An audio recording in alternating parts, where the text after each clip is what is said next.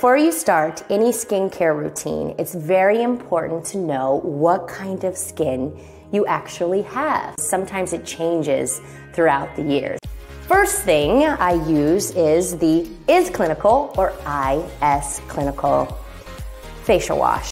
So, coconut oil is the best thing for that after you've washed your face with the Is Clinical. He's killing it in the facialist game, the facial game as I say.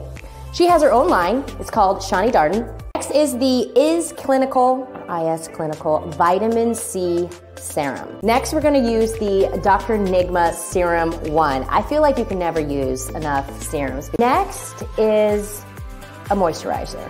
This is Shani's Daily Oil-Free Moisturizer. So it's really, really, really important that you use sunscreen. I do think it's important to talk about what we put on our inside, but it's diet, diet, diet, diet. I learned this the hard way. Water, water, water, water, water, water, water.